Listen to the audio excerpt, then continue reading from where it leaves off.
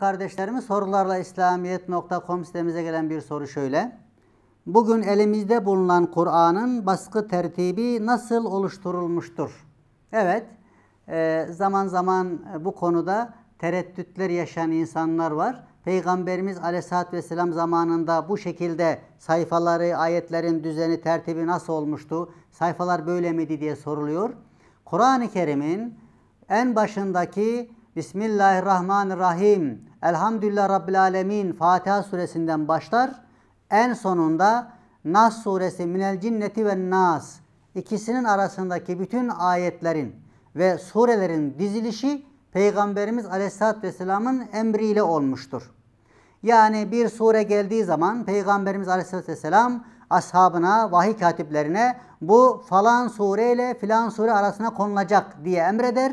Ona göre konur ve yazılırdı. Bir ayet veya ayetler grubu geldiği zaman Peygamberin ashabına bu ayetler falan surenin filan ayetleri ve filan ayetler arasına konulacak, yazacak der. Ona göre konulur, yazılır ve ezberlenirdi. Dolayısıyla Kur'an-ı Kerim'in baştan sona tertibi Allah'ın emriyle olmuş. Peygamberimiz Aleyhisselatü Vesselam ashabına o emri ulaştırmış ve o emre uygun olarak tertip edilmiş. Peki elimizdeki sayfa tertibi ne zaman meydana geldi? İşte bu sayfaların tertibi mesela dikkat ederseniz her sur, her sayfa bir ayetle başlar. Ayetin başı orada başlıyor. Her sayfa ayetle biter. Ayetin sonu orada bitiyor. Enteresan, çok dikkat çekici bir durum. Hakikaten işte bu durumu Allah'ın izniyle ilhamen ilk keşfeden Kayszade Hafız Osman Efendi olmuş. 19. yüzyılda yaşamış.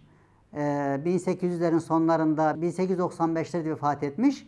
Bir hafız Hattat Efendi Allah'ın lütfuyla, ihsanıyla bir şey yakalamış.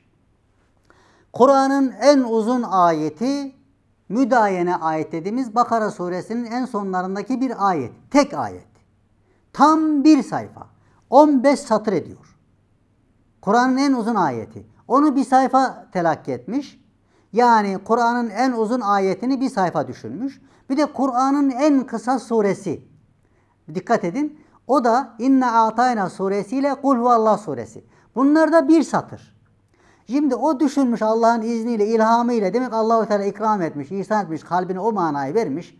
En uzun ayeti sayfa hedefleyeyim. En kısa sureleri de satır, bir satır hedefleyeyim.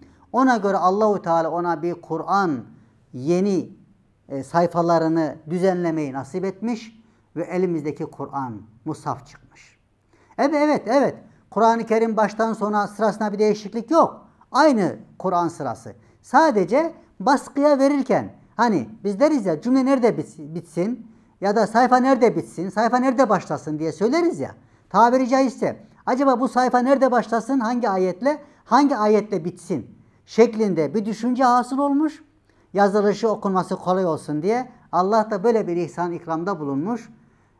Bakın Kur'an sayfalarına her sayfanın başı ayet başıyla başlar.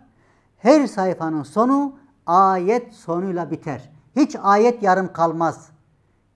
Evet.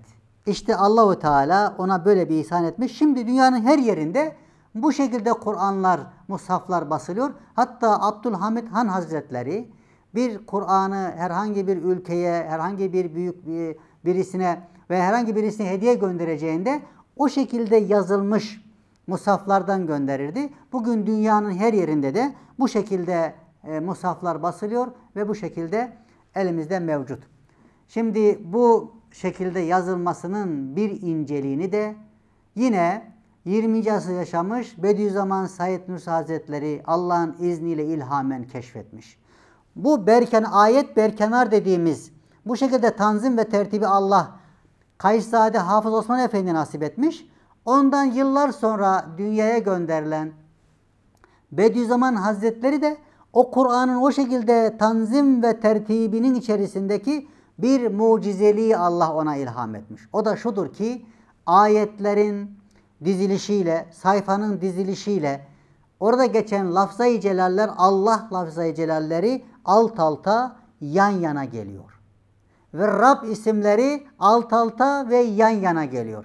Bu özelliği de Cenab-ı Hak bu asırda Bediüzzaman Hazretleri nasip etmiş. Demek ki Kur'an-ı Kerim'in hem bu şekliyle basılması harika, Allah'ın bir ihsan lütfu, hem de bu baskı türünde, tertibinde ayetlerde geçen Allah'ın isimleriyle ve bazı yine e, benzer ifadelerin alt alta gelmesi Allahu Teala'nın bu asırdaki insanlara Kur'an'daki bir mucizeyi ortaya çıkarması anlamına geliyor.